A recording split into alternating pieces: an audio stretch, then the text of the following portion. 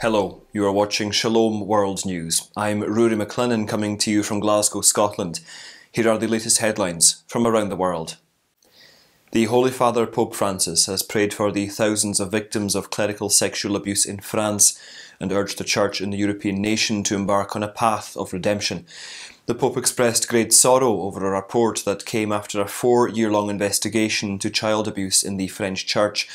The report says that as many as 216,000 children were abused by priests since 1950, and more than 100,000 children suffered abuse at the hands of lay employees in church run institutions. Speaking to reporters on Tuesday, October the 5th, Matteo Bruni, who heads the Vatican press office, said the Holy Father's thoughts go first to all the victims, with great sorrow for their wounds and gratitude for their courage in reporting the abuse. He also said the Pope prayed that the Church in France finds a path of repentance and reform. The report was prepared by an investigation committee led by senior civil servant Jean Marc Sauvé. A young Catholic and pro life supporting politician has become the new Premier of the Australian state of New South Wales. 39 year old Dominic Perrottet is the youngest politician to serve as the Premier. The father of six is vocal about his opposition to abortion, same sex marriage, and the use of gender neutral language. In 2017, he had opposed same sex marriage, saying that marriage is about every child's fundamental right to grow up with their father and mother.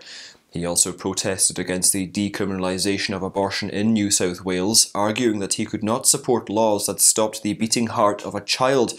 Perrottet was educated in a school run by those associated with Opus Dei. Speaking about his faith, he said that it inspires him to make a difference wherever he goes. Bishop Richard Moth of Arundel, who chairs the Department of Social Justice of the Bishops' Conference of England and Wales, has invited all parishes to take part in the annual Love Christmas initiative to provide 1 million boxes of food and other essentials to the needy and the vulnerable. Love Christmas is an ecumenical initiative aimed at helping the poor and needy during Advent. It's coordinated by Divine Renovation, Catholic Voices, and the Youth Ministry team. The bishop said that the boxes of hope and love help people across the country who are in need during the pandemic crisis. He also said that they will help people who are isolated and vulnerable.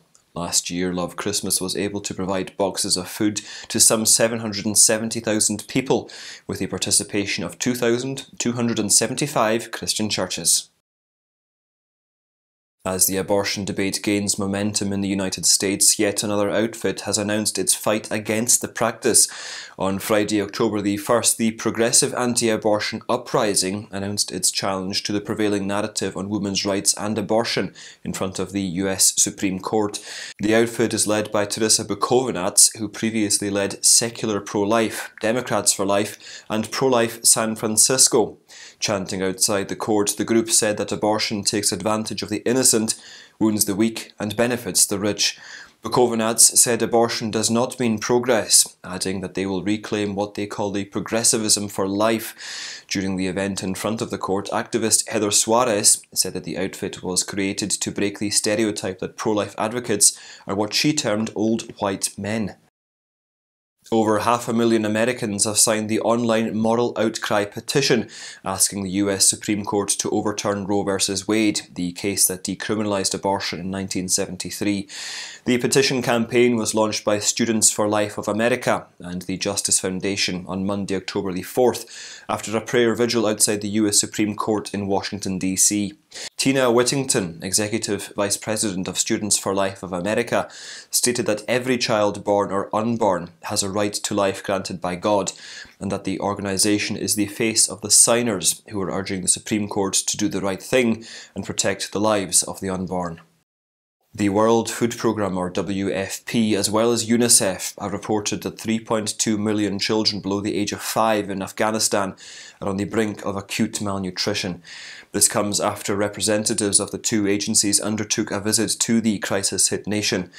Out of the 3.2 million children, as many as 1 million are at risk of death because of the lack of nutritious food and immediate medical intervention.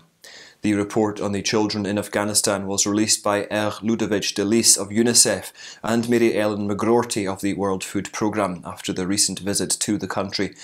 It is estimated that 14 million people in Afghanistan are facing an acute shortage of food ever since the Taliban overran the country and seized power. The WFP surveys report that 95% of Afghan households are not consuming enough food and that adults are sacrificing meals to provide more food to their children.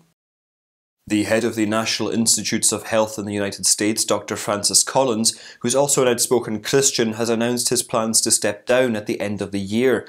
The National Institutes of Health is one of the world's largest scientific and clinical biomedical research sponsors. Dr. Collins was the longest serving presidentially appointed NIH director. He was appointed by President Barack Obama and he went on to serve under three presidents. During his 12 year tenure, the NIH collaborated with pharmaceutical companies to help develop an authorized COVID 19 vaccine. However, Collins, a member of the Pontifical Academy of Sciences, held views that differed with those of the Church with regard to fetal tissue from aborted fetuses being used in research. And those are your latest headlines. Do join us again tomorrow. In the meantime, you can visit swnews.org for more updates. Shalom.